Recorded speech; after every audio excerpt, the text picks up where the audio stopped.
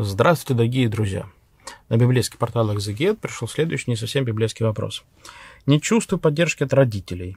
Как быть? Каждый ребенок, каждый подросток, каждый юноша, девушка, школьник, студент хочет, чтобы родители его поддерживали во всем.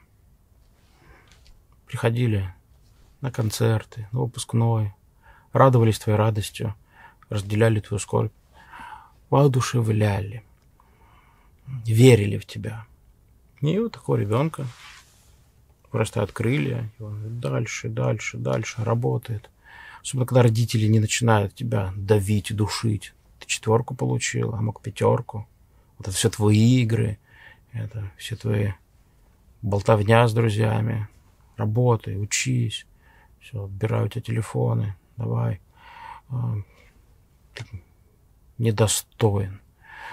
Можно так мотивировать к хорошим результатам, что у ребенка мотивация к жизни пропадает, не то что к обучению.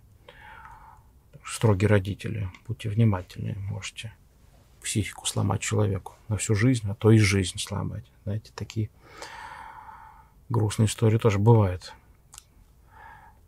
Но вернемся к ситуации более печальной, когда родители вообще не поддерживают.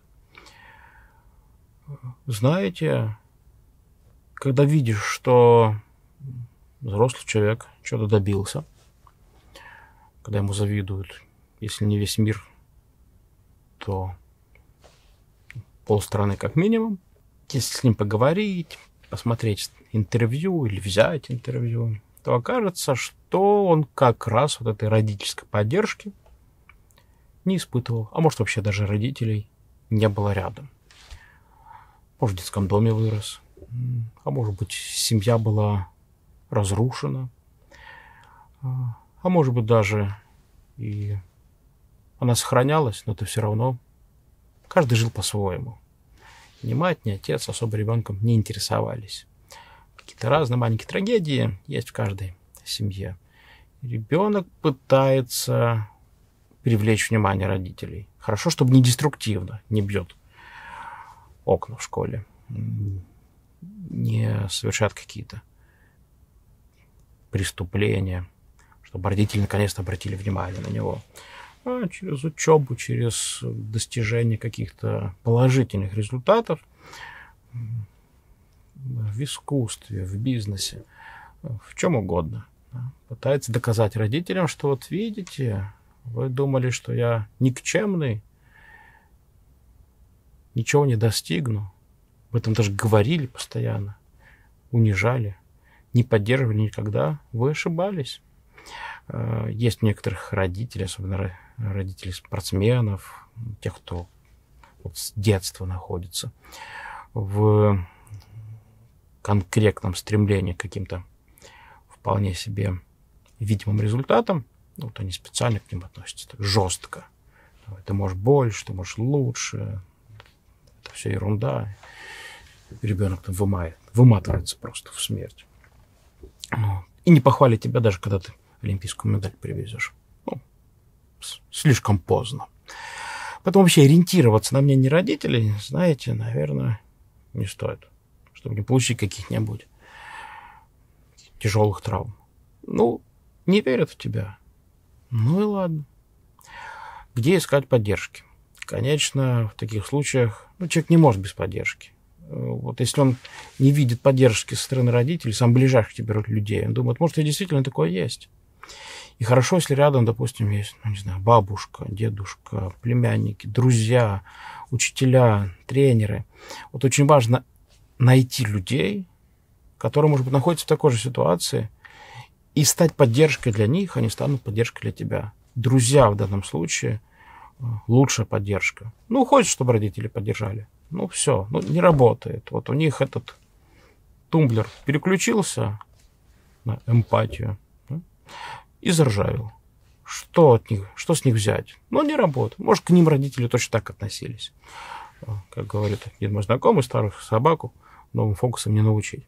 Ну все, вот станьте человеком. Не, не просите не больше, чем они могут дать. Может быть, со временем постареют, станут сентиментальнее, там, поймут ошибки прошлого и по-настоящему как бы тепло оценят твои достижения.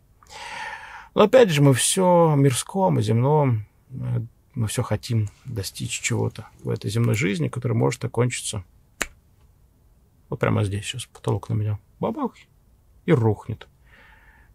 Эти слова, которые сейчас говорю, будут последними. А я тут какие-то планы строил и огорчался, что мои родители меня не поддерживают. Кстати, не поддерживали, да. Никогда. Ни в чем. Это для меня тоже какая-то больная тема.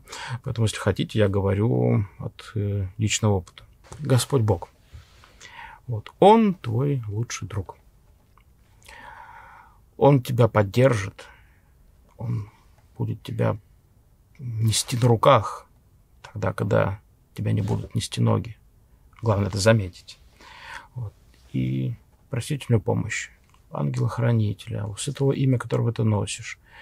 Причащаться как можно чаще, потому что когда нет поддержки извне, может даже друзей не быть, вот ты одинок.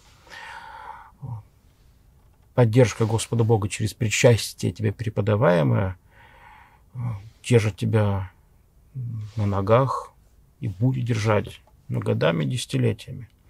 Да. Потом достигнешь, достигнешь, даст Бог, каких-нибудь результатов, приобретешь огромное количество друзей, знакомых, друзей поближе, друзей там подальше, там, разной степени общения, доверия и взаимопонимания. Но чтобы точку опоры приобрести, найдите ее в церкви опять же, в церкви священники хорошие, добрые, монахи, монахини. Вот. И мы с удовольствием с вами поговорим. Не надо нас бояться, мы не кусаемся. Мы с радостью утешаем людей. Вот. Мы для этого рукополагались, потому что любим людей, чтобы дать им то, чего им не хватает. Внимание, утешение, заботу, любовь с нежностью, как пишет апостол Павел. Вот, потом приходите, мы вот дадим вам в церкви то, чего вам не хватает в семье или даже на работе. У нас есть любовь. Найдите священника, которого ее много, чтобы он смог с вами поделиться. Это может быть молодой священник. Да, вот как раз не все великовозрастные, уже седовласые священнослужители могут отдать всего себя тебе. Их самих уже мало. Даже вчерашний выпускник семинарии весь горит, он ищет. Вот, ну, кому же теперь себя отдать? Кому поделиться? С кем поделиться горящим сердцем? Кого утешить? Общайтесь, говорите с людьми, говорите с батюшками. Найдите человека, который станет для вас поддержкой, кто будет вас верить. Самое главное. Единомышленников. Найдите единомышленников в любом деле – и старайтесь держаться подальше от тех, кто говорит, ну, это слишком сложно, у тебя ничего не получится, и раньше не получалось. Теперь посмотри, ты два-три раза попробовал, у тебя ничего не вышло. Ну, извините, там, что 40 раз надо что-то сделать и повторить для того, чтобы хоть что-то стало получаться. И у кого с первого раза не вышло ничего. Поэтому держитесь подальше от тех, кто сразу над вами смеется, когда ты только попробовал, и вышло как-то по-детски. Все у вас получится. Главное, дисциплина, постоянство и Божья помощь. С Богом, друзья. Внеси свой вклад, оцени, подпишись и поделись этим видео.